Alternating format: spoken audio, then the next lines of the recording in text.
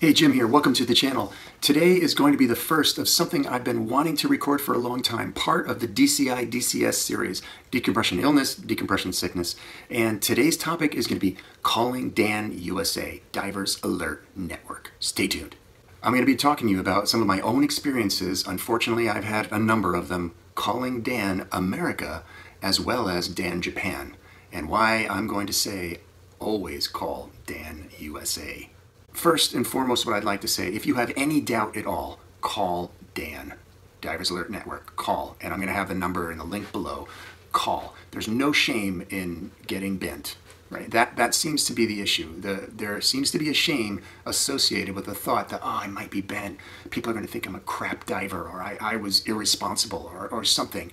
You might be irresponsible. I have no idea. However, uh, that still doesn't matter what the reason was whether it was a good reason or a bad reason, you don't want to be crippled or you don't want to be partially paralyzed or in pain for the rest of your life. If there's any doubt, call Dan USA. Enough said on that. Next. In my younger years as a diver, dive master, and instructor, I used to do a lot of reading on the boards, scuba board, uh, the DecoStop, uh, etc., newslists, accidents and incidents, and overwhelmingly what I found was people who thought they were bent, who thought they had DCS, would suffer from inaction, from doing nothing.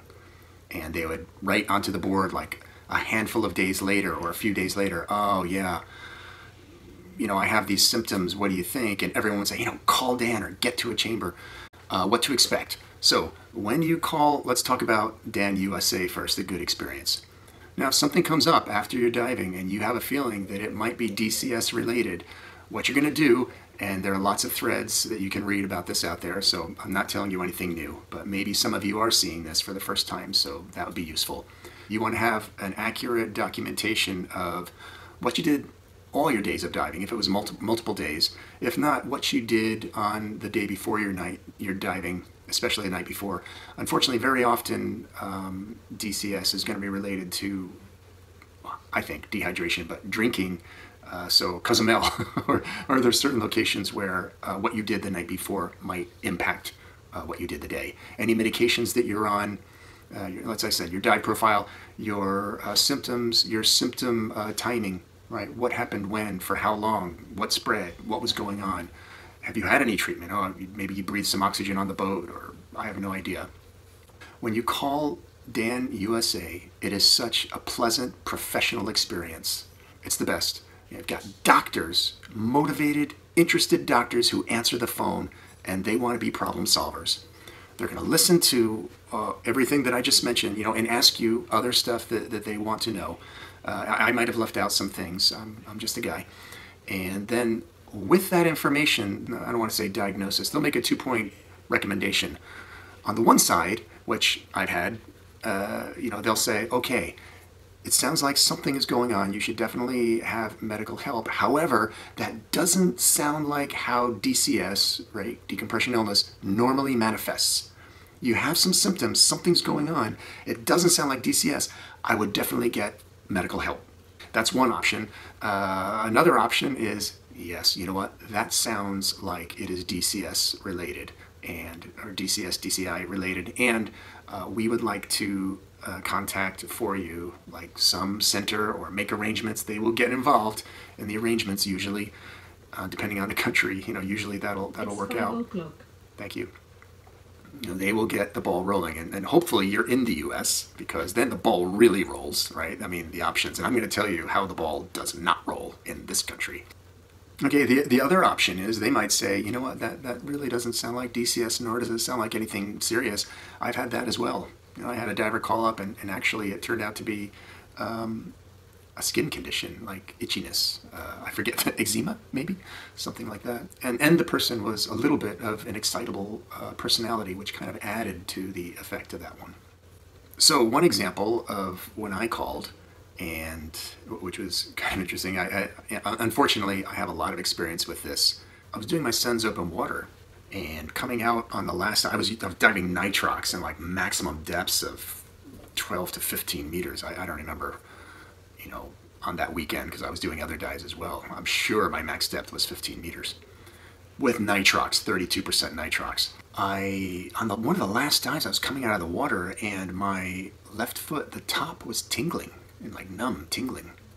Just one foot on the on the top of the left foot. So I called I had this sensation. I called Dan USA and I'm speaking with a doctor and the doctor you know listened to everything what I did before what my dive profile was what the gas was I was breathing and came up and said you know what?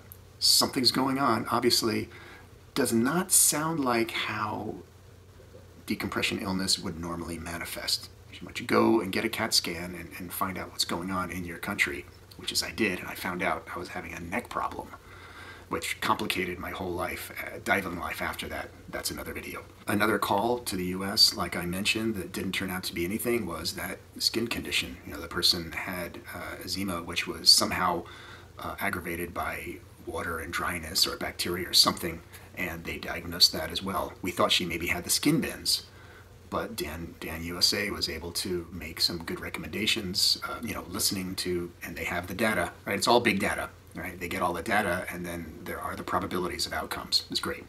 Let's make this this promise. Uh, you know, put shame aside. If you're in a situation where most of the calls, luckily, most of the calls I've made to Dan USA have not been decompression illness or you know decompression sickness so which is a good thing so if you think that you might give them a call. There's no shame. There's no like oh why did you call here? You know you're wasting my time. There's nothing like that. They're there for the service. They're happy to get a call. You do not need to be a dan member which you know I am and I was at the time, eh, but probably sometimes I called I was not a Dan member in my earlier days. So you do not need to be a Dan member. Give them a call. If it's nothing, you know, they're going to tell you they're not going to have any feelings oh you know why'd you waste my time? It's nothing like that. They're professionals they're there to diagnose and to help us be as safe and healthy divers as possible so any doubt give them a call now to show you how lucky you are to have access to dan uh, usa and why if i have a problem here in japan i will still call dan usa uh, here here's well here's the other thing so in dan usa you have a problem uh, they, they work the data. They say, yes, uh, this sounds like a high probability. It is a DCI event. We're going to notify XYZ chamber, which is closest to you. We're going to arrange uh, an ambulance pickup. You know, if you're remote, a helicopter pickup. I, I have no idea you know, where you are. Um, or if you're close enough, get there yourself. And they're going to be prepping up the chamber because chambers require preparation, and everything is going to be ready for you when you get there. Move now or stay put, we're going to move you now. If this is a weekend, it's an evening, it's whatever it is, this is what's going to happen. It's fantastic. Now, here's the case in Japan. You know, hospitals here are a different deal. The whole emergency room idea is a different deal. And unfortunately, it relates to chambers. If you call Dan Japan, you are not speaking with a doctor. The person who's going to answer the phone is a dive instructor some sort of a dive professional. And what they have in front of them, they have a list of your area. Where, where's your area? Oh, you're in Tokyo area. Oh, okay. I have a list of uh, of hospitals that have chambers in Tokyo, the Tokyo area, that you can contact Monday morning. Oh, but it's Sunday, and I, you know, this is real pain, and I have that. that. Yeah, yeah. Uh, Monday morning. Unfortunately, I've had some personal chamber experience. I've never heard of anyone successfully going to a chamber on a weekend.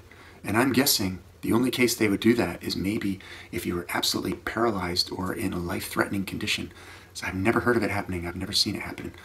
My, my experience might be small compared to others. I'd love to hear if someone has experience. And I have experience with several very large Tokyo area medical institutions with some pretty major chambers. So that's all they have is a list. And if you ask them any further advice, they're they're not going to have anything to offer because basically they're the same as me, right? Or probably less actually, because I I have some chamber experience now. So yeah, so it's very dissatisfying experience. So if you are overseas, my my advice to you would be, well, first maybe get acquainted with what your Dan local Dan network really is, who who actually will be answering the phones and what they are capable of doing. I would also acquaint myself with what happens with uh, chambers in your area. One of the things I do for rescue training actually is I have my rescue candidates because there's a, like a dive area that we usually go to. It's in Izu, and, and the dive centers are kind of networked together with their emergency uh, medical response.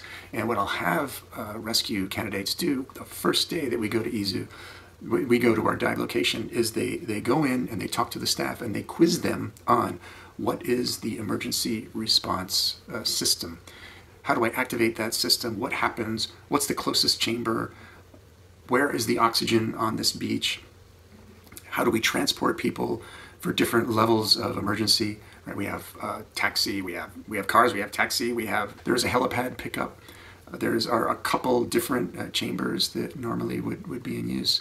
So one of the first things you should do, I think, uh, if you're serious about diving in your local area, find out what the emergency response pattern is, and then find out about your local DAN network and join that network and uh, learn about it. So who's going to be answering? What's the deal with chambers? When are they open? How do you get there? Uh, how does that work? I think that's just a responsible um, step in diving, especially if you're doing starting to do things more serious, deeper diving, technical diving, etc. Right. So back to my recommendation. My recommendation, if you think any problem might be occurring, call Dan USA. You're going to be talking with professional medical individuals who will give you the best recommendations possible in no time. And then you can reconcile that with your local situation, like me, Japan, how you're going to do that. Probably, as I recall, Dan USA doesn't communicate so directly with the facilities in Japan. So I had I had to make that jump and, and contact. But depending on the country, they might um, take care of those arrangements for you. Secondly, acquaint yourself with your local DAN network, how to activate it, what the options are, and how you would activate that uh, if you would need to. Alrighty. I hope that gave you some insight. The thing I opened with and I would like to close with, absolutely, there was no shame in in calling Dan and getting advice if you have any suspicion that that there, you have had a DCI event. And whether you have had a DCI event or not, there was zero shame in that. Put the shame later. Maybe you did something stupid. I don't know. Maybe maybe I did something. You know, I drank. I had a long night of drinking, and I, you know, was still hungover when I got in the water, and I maybe I even my dive profile was irresponsible, and so maybe it was all totally my fault. Let's put all that blaming and the hindsight after the fact. Get your problem solved. Be a diver for the future, and a walker and a runner. Call them. There's no shame. No one is going to shame you on that phone. That phone call is a very easy one to make. If that helped one person, I'm going to feel satisfied about this video. See you next time on the beach. Bye. Hey, guys, what's the deal? Uh, are, are you sure that was sounding okay? I'll be honest, fellas, it was sounding great, but I could have used a little more cowbell.